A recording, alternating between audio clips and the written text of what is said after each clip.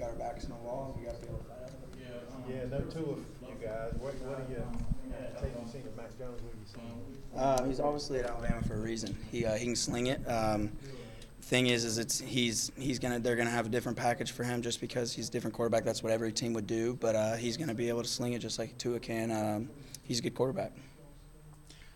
honestly, you guys right now, I mean, this is the number one team in the country. I mean, it's an opportunity to shock the world, I guess. Yeah, definitely uh, shock the world. But uh, the only people going to be fighting for us is in our team. So uh, I think an opportunity is a lot of people say money games, and uh, this is the number one team in the nation. We- Like not many people in the college football can say they play the number one team in the nation. For us to have a chance like that, uh, like this is my third year. I think I've played number one team in the nation over here over my uh, career here, and uh, it's a money game. People in the NFL see it, uh, but it's definitely a, it's time to shock the world if we can, and we just fight for it.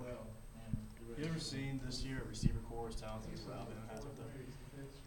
Um, I don't want to downplay any other receiver corps that we've ever played, but uh, this is definitely one of the ve- like the most talented group that I've seen. Uh, I'm sure if you talk to Chief, he'd probably say it's, it's probably one of the better he's ever seen too. Uh, we got to be able to we got to be able to shut them down if we want to be able to have a chance to win because that, that receiving corps is really good. What is it about them? They're fast. They're electric. Um, like crap, they're I think they're one of their best plays is slants, and if you score on slants the majority of the time, then obviously you got something going for you. And it's their speed. Uh, they're just they're really fast, and they got four of them. They got they probably have five or six, but four of them are very good. What's it going to take for this team to get it turned around, start winning games again? Um, it's gonna. Coach Morris kind of said it like an egg. It's got to start from inside out. If you crack an egg from the outside, it's dead. If you crack an egg from the inside, it's the the uh, bird cracking it itself, the chicken. So. Um, it's it's got to start with us. It's got to start with the players. It's got to start with people believing. It's got to start with uh, just the little things. Like he says it, and everyone thinks it's so redundant, but like you got to be able to want to win. You got to be able to want to be here. You got to be able to want to be an Arkansas Razorback. And I think that like the more and more people we want to be here and that, that want to be here and want to fight for us, I think that's going to be the way to get it around. You think that message is getting through? Yeah, I definitely do. I think he says it all the time. I, I really do think Coach Morris will take 40 people this weekend if that's the only people that want to win. That's the only people that believe in Arkansas. I, I really do think that he's gonna he he will take whoever wants to win, and I think our whole team has really bought into it. I, I think our team is like from my viewpoint, like we have a team that really wants to be here and we really want to fight. So um, it's it's we've gotten better. We really have. You guys have faced 105 run plays the last two games, and I'm suspecting Alabama might run a bunch. Yeah. Uh, what, what, what's your thoughts there?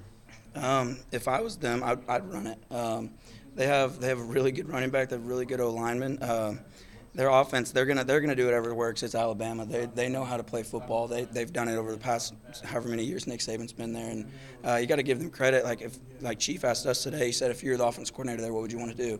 And if you watched our film, you'd say run it. Like Kentucky did it uh, last week. Auburn did it. We just got to be able to continue to get better in the run game. You, you're one of the guys on this team that's been there before, 101,000 people. Uh, what, what do you pass along to your teammates about that? Uh, I, I say first thing you do is get in there and look around. Don't ever look around ever again. Get in there, soak it all in. Say you're playing at Alabama against the number one team in the nation, and then don't look around again. Every field is 100 yards, 53 and a third. It's all the same once you get in there.